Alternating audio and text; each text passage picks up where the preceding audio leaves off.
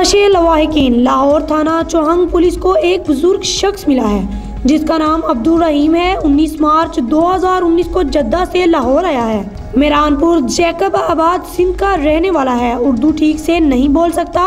सामान और mobile phone airport पर किसी के साथ तब्दील हो गया है। घर का पता मालूम नहीं और ना ही किसी का फ़ोन नंबर है। अगर कोई इस शख्स को पहचान सकता है, इस नंबर पर रबता करे।